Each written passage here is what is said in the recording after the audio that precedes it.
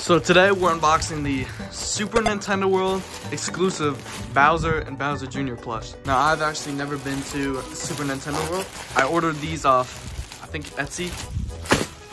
Here they are. All right, so let's start with the Bowser. There he is. So, I mean, this plush just looks exactly how it looks in all the images.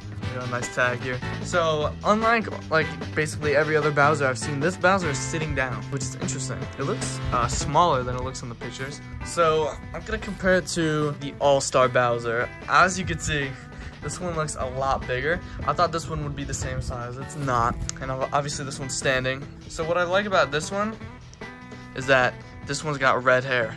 Uh, the orange isn't bad, but you know, also doesn't really matter. I also like the shell on this one a lot better. Yeah, like now that I'm looking at the shells, this one's definitely more circular. This one's all long, elongated. So yeah, I actually really like this one. Guys, comment down below if you want to see this one used in videos, because I actually do really like it. All right, we also got this one. So this is the whole reason why I wanted to order these.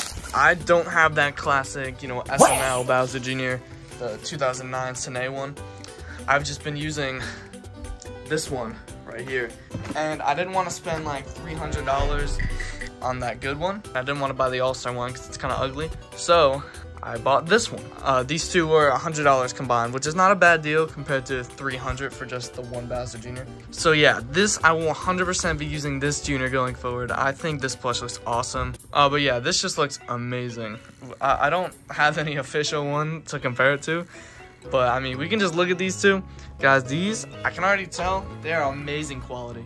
I mean, just look at them. Yeah, I like I like his eyebrows on this. I like their hair color. I like that it's red. Because if you look at, you know, the Mario movie, it's red in there. But yeah, just let me know if you guys want to see Bowser. Because I'm definitely going to be using this. And I think it makes sense if this Bowser matched. Because, I mean, this, is, this isn't bad. It works.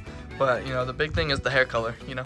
Yeah, I think I like this one more, I'm not gonna lie. Even though I've been using the All-Star Bowser since, like, episode, like, 10. Uh, subscribe to the channel and whatnot.